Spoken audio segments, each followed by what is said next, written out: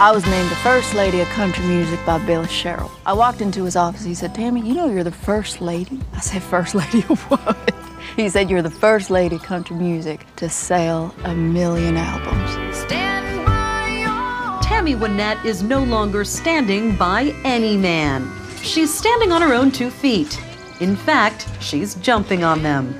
Welcome to First Lady Acres, where it's a 24 hour hen party for Tammy and her four daughters. With over 30 rooms, the style is both comfortable and elegant.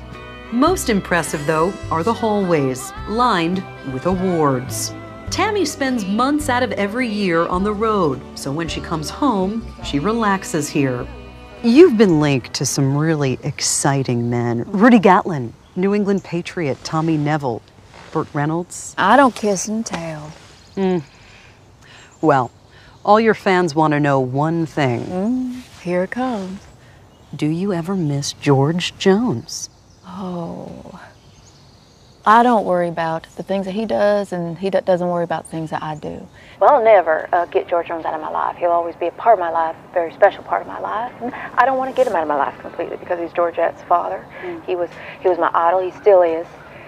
Uh, we may not live together, but he still make me cry just listening to him sing.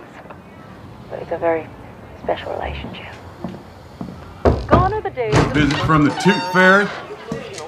Showtime, Jones.